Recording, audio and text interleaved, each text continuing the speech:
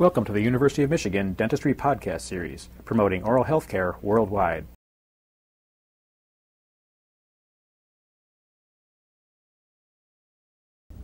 This patient has presented for routine dental treatment. She has no chief complaint relative to her joints or to her occlusion. However, on examination, it has been found that she has considerable wear of the teeth and that to do restorative treatment for this patient without considering the occlusion and her bruxism would probably result in failure for any partial type of treatment.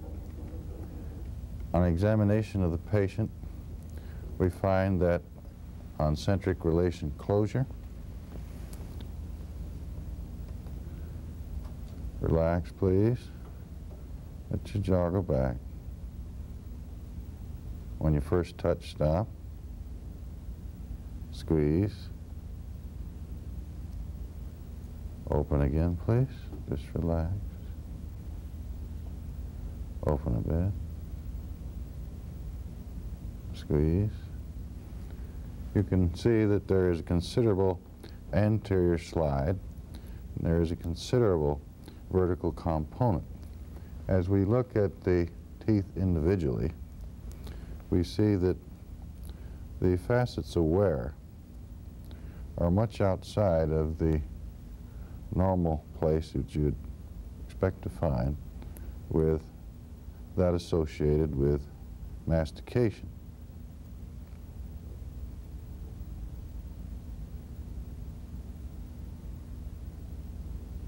Close your teeth together, please. Back teeth together. Now, in looking at her teeth from a lateral view,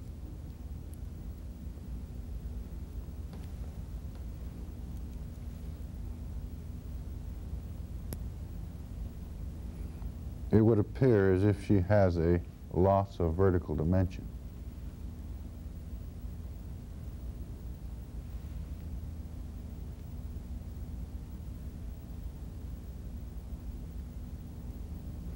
It is true that there's been a loss of considerable amount of tooth structure here.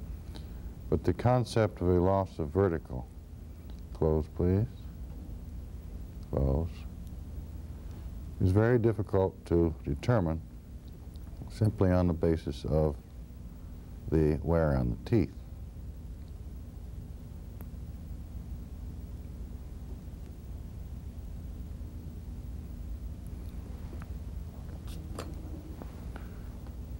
Slide your teeth out towards me, please.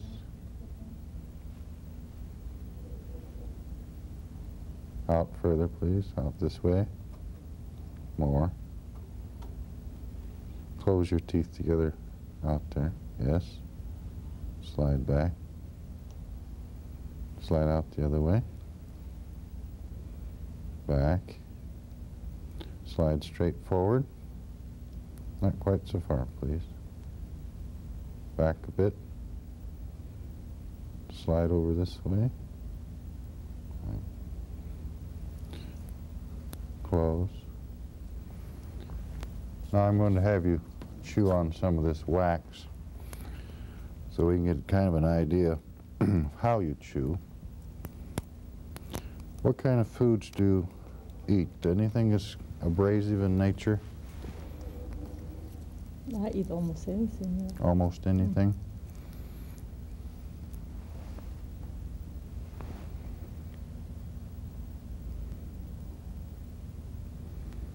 Just chew normally.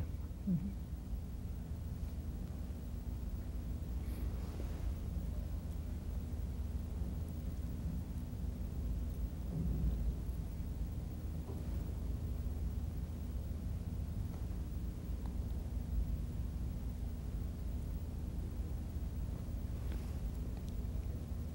Obviously, she is not going out to the extremes of the wear that you see on the teeth.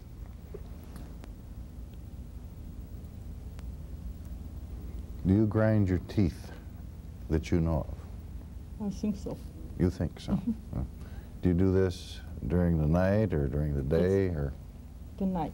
Uh-huh. I think sometime. Somebody tell you that? No, I did find it out myself. Mm-hmm. And by, in the dental school, they told me too. Uh-huh. With this much wear on the teeth, as you can see, on this lower first molar, for example, and to have this throughout the mouth, indefinite patterns of movement, it's quite difficult to replace these restorations either individually or totally so that you would be back in the same patterns of wear that she has normally.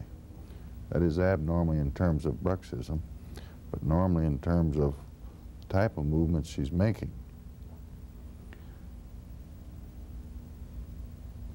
Now, the treatment for the patient initially is to make her a bite plane splint to try to correct the bruxism and to eliminate the slide and centric and balancing interferences that she has.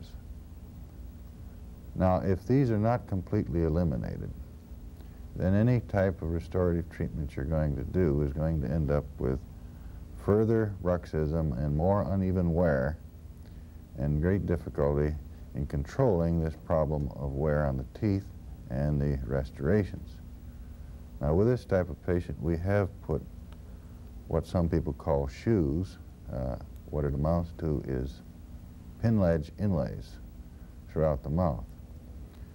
Now, once you put all of these in, unless you have the patient coming from centric relation to centric occlusion without interference, then you really have perpetuated the problem all over again, and there will be considerable uneven wear.